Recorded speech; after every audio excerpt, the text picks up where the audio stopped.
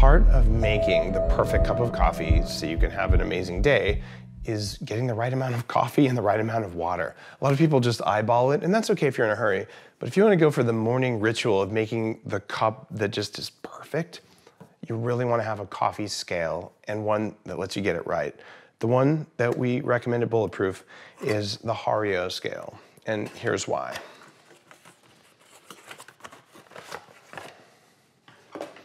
The Hario scale allows you to weigh your coffee with 0.1 gram levels of accuracy.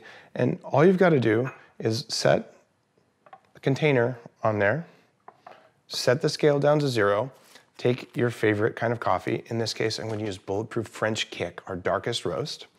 And I store this in one of the bulletproof containers that keeps it fresh. I'm going to pour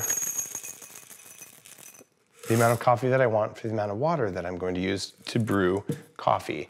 And on the Bulletproof website, we tell you the right ratios.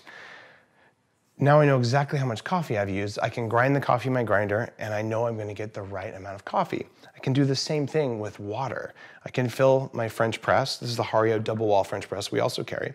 I can fill it with hot water, measure the amount of hot water, make sure it weighs the right amount, and then when I put the ground coffee into the French press, I'm gonna get the perfect cup of coffee because it's not too strong and it's not too weak.